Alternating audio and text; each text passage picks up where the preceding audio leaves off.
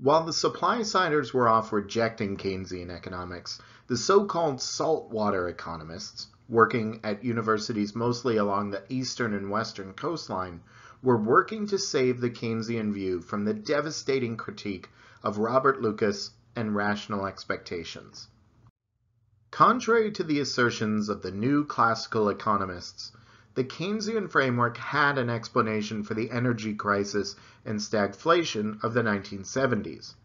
Where real business cycle theorists were claiming that these recessions amounted to little more than extended and voluntary vacations on the part of workers, the new Keynesians noted that a sharp rise in the price of oil would cause a leftward shift in short-run aggregate supply, pushing up the price level and pushing down real GDP.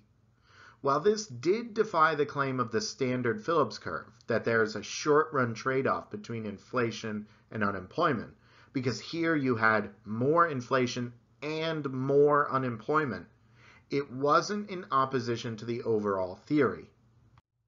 But the new Keynesian school of thought was indeed new. The rational expectations hypothesis, along with the Lucas critique, needed a response, and it wasn't going to be found in the orthodox Keynesian framework.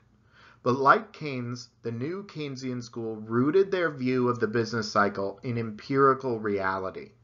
The general public, to some degree, did fall for the money illusion, and imperfect competition, along with bounded rationality, rather than the assumption of total rationality found in the real business cycle theory, meant that there were price rigidities, or sticky prices.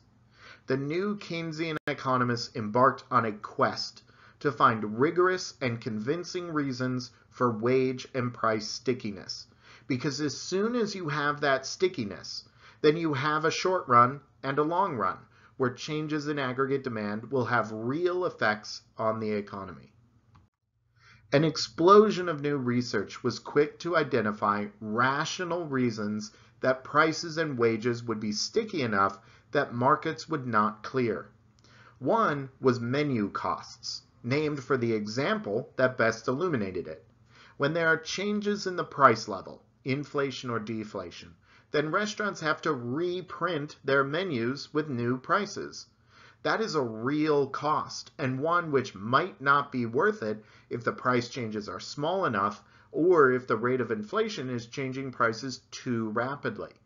Of course, this applies to more than just restaurants. Adapting to new prices involves costly actions, and avoidance of those costs will be like friction, preventing prices and wages from changing quickly. A second was shoe leather costs, again named for the example given for it. Inflation is like a tax on people who are holding cash. It erodes the purchasing power of your money, and you could afford less than you were able to afford before. To guard themselves against inflation, people will try to store their cash in accounts which pay interest in excess of inflation, and only keep just what cash they need for a short period of time. That means they will need to make more trips to the bank to withdraw small amounts of cash, wearing out their shoes and forcing them to buy new pairs of shoes more frequently. Okay, I know this example is a little outdated. Back in the 80s, people used to go to the bank a lot more and pay for things with cash. Today, the economy is a bit different, but the problem is still real protecting your assets from inflation can involve real costs that prevent people from doing it. The truth is, most people don't do anything to protect their money from inflation because there are a lot of barriers in the way. And that's the point. We all face friction, which slows us or stops us from behaving perfectly rationally. A third major reason why prices and wages would be sticky are implicit and explicit contracts. I sometimes think about professional athletes for this. When a baseball player signs a 10-year contract with a team, their salary is locked in. No matter what inflation is over those 10 years, their salary won't be adjusted for it. And of course, lots of people sign contracts like this with their employer. Even if it's just for one year, that's a year where your wages are locked in.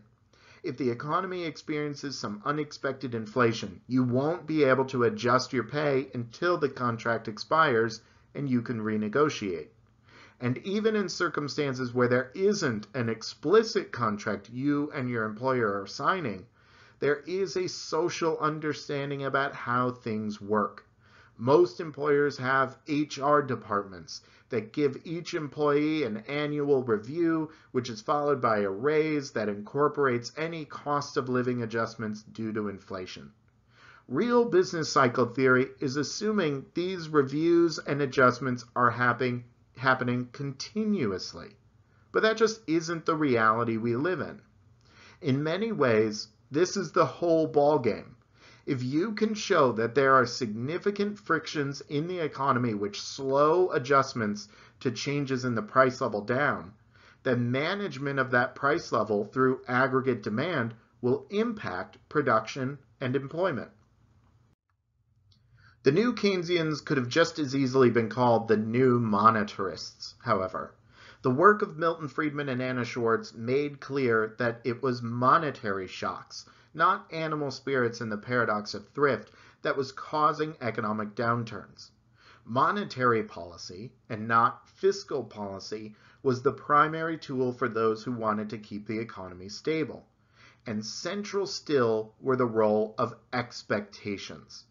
The hope of a stable Phillips curve that enticed the neoclassical synthesis was dead and the new Keynesians recognized that permanent deviations from the natural rate of unemployment would require ever accelerating rates of inflation, which would do more harm than good.